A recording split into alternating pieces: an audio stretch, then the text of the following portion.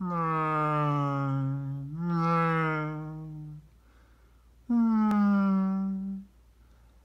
People Learn to Fly by Fran Hodgkins, illustrated by True Kelley. Ah, the spirit of St. Louis.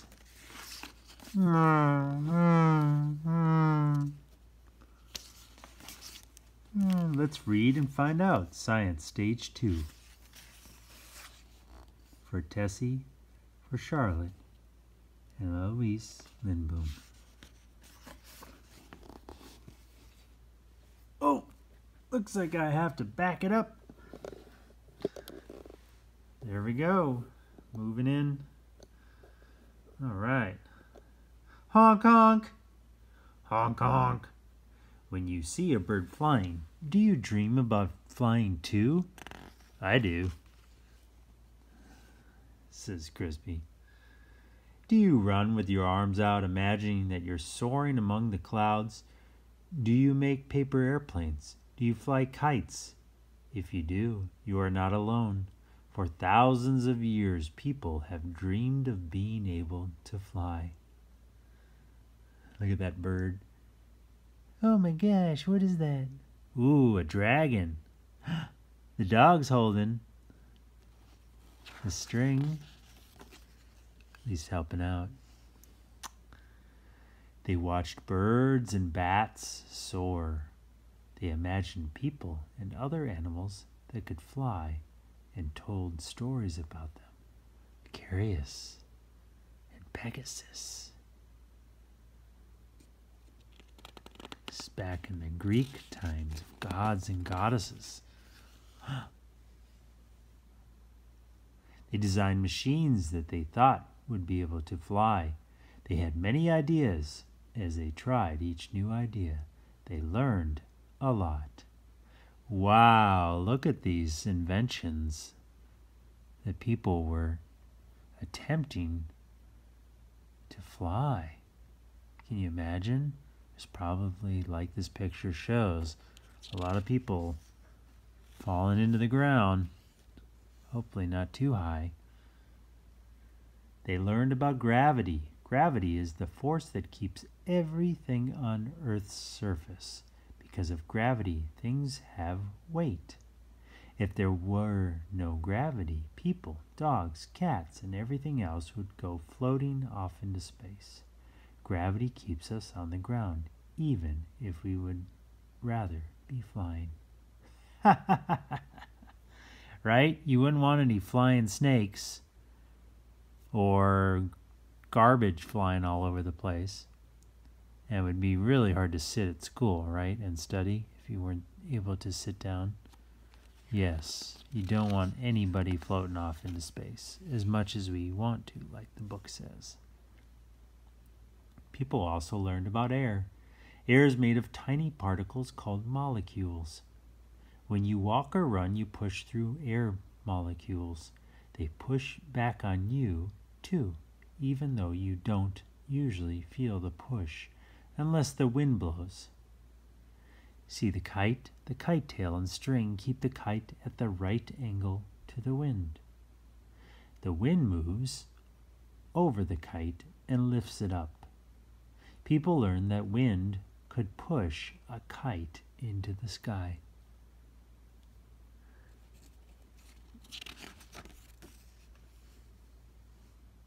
When air molecules push back on a moving object, that is called a force called drag. You can feel drag for yourself. Hold out your arms. Now spin around.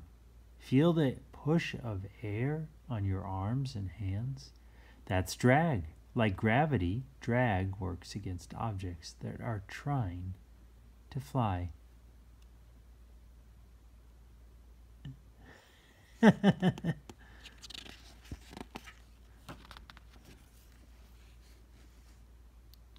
Kites were useful and fun, but people wanted more. They wanted to fly like birds. Birds had something that kites didn't. Birds had wings. We get you, Mr. Page, to turn? Here we go.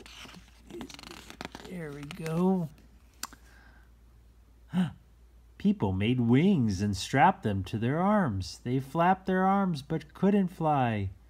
In England, Monk Eleanor broke his legs in AD 1010 after a 15 second flight. oh,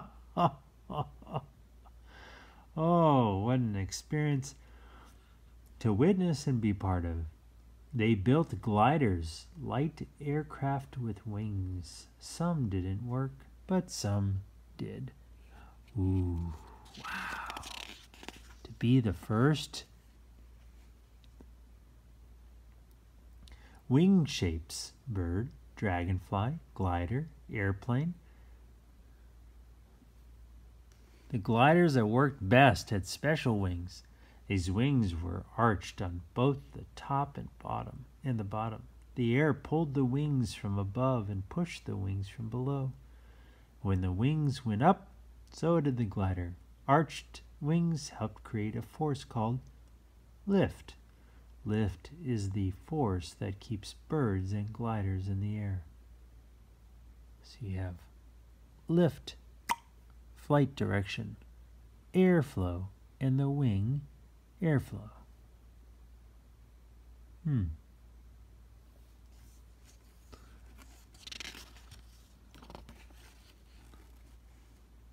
Ooh. Most gliders have long, thin wings. The wings create enough lift to carry the aircraft and its passengers. Gliders usually ride currents of the of air the same way a hawk soars. Ha! Oh my goodness, that was my best. Let me try again. Ha! that is not a hawk. Gliders are very light and long wings and air currents give them enough lift to fly. But to carry more than just a passenger or two, an aircraft needs a lot more lift. The question is, how do you create more lift? An engine is the answer.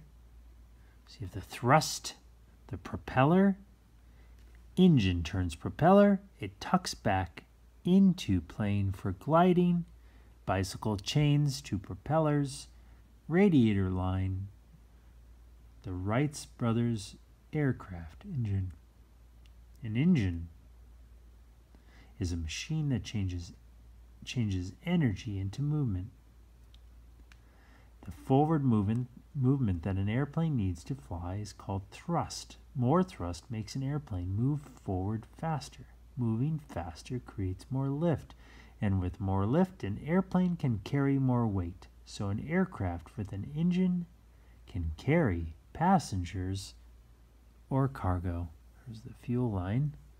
Wow, how cool! Whoa!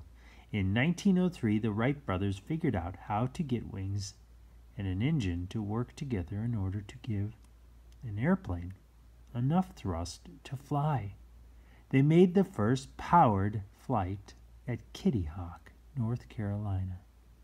Wow, can you imagine being the first person to successfully fly supersonic flight fighter jet and the Voyager since then, people have made airplanes that can fly faster than sound can travel.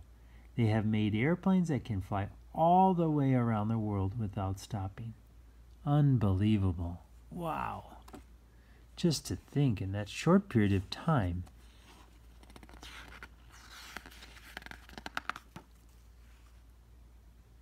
Today, thousands and thousands of people travel in airplanes every day people really have learned how to fly. Look at that. Hmm. Just leaving Costa Rica or the Bahamas or somewhere. Wow. Hundreds and thousands of people. Ooh, wow. Look at this. What do we got here? Find out more about flying. Flying facts. Orville and Wilbur Wright were the first two men to fly, build and fly an airplane successfully. In 1903, their Wright Flyer rose into the air at Kitty Hawk, North Carolina. Charles Lindbergh was the first person to fly solo, non-stop across the Atlantic Ocean. In 1927, he flew from New York to Paris. His plane was called the Spirit of St. Louis. That's right, we saw that plane in the beginning of the book. Amelia Earhart was the first woman to fly across the Atlantic Ocean. In 1928, she was one of the three person crew that made the flight. She became the first woman to fly alone across the Atlantic in 1932. Wow. Not even a hundred years ago. The world record for the longest hand launched paper airplane flight is held by Ken Blackburn. In 1998, his air his paper airplane flew for 27.6 seconds in the Georgia Dome. It's time for you to try your hand at aviation design by testing a paper airplane inside your house and outside. You can answer questions about flight. You will face the same issues that Wright brothers faced at Kitty Hawk. Ask one of your friends to help you with this experiment. Here it is. Ex materials needed several sheets of 8.5 by 11 inch paper, stopwatch, pencil, and notebook. Follow the diagram below to build your paper airplane. Here it is. Got your plane made? Good. Then find a long hallway or a big open room in your house. Throw the airplane overhand. As soon as it leaves your hand, have your friend start the stopwatch. Stop the timer once the plane falls to the ground. How long does your plane, paper airplane stay in the air? Repeat this experiment several times and write down the times in your notebook. Switch with your friend and let him or her throw the plane while you time its flight. When you switch jobs, were the times different? Next, try this experiment outside. Is there any wind blowing? Throw the plane into the breeze when the wind is hitting your face and then try throwing the plane with the breeze when the wind is hitting your back. How did the wind affect the plane's flight? Once you've finished with your indoor and outdoor experiments, think about how these issues are related to flying a real airplane. Did your plane fly better inside or outside? What things would you have fixed? What, or sorry, what things would you have to fix about your paper airplane to make it fly better? Ah, these are great, great things to, to try and do, especially with a friend. Oh, there we go. Oh, Fran Hodgkins is the author of The Orphan Seal, the winner of the Henry Bergh Children's Book Award presented by the American Society for the Prevention of Cruelty to Animals. This is Fran Hodgkins. First, let's read and find out science book. She lives in Maryland. True Kelley is the illustrator of many books in the Let's Read and Find Out Science series. She lives in Warner, New Hampshire. You can visit her online at www.truekelly.com. For exclusive information on your favorite authors and artists, visit www.authortracker.com. All right, everybody, that concludes Let's Read and Find Out About Flying. Look at These other books. What is this one? Energy makes things happen. Gravity is a mystery, and forces make things move. Cool. All right, thank you, everybody. We'll see you next time. Keep reading, keep going on adventures.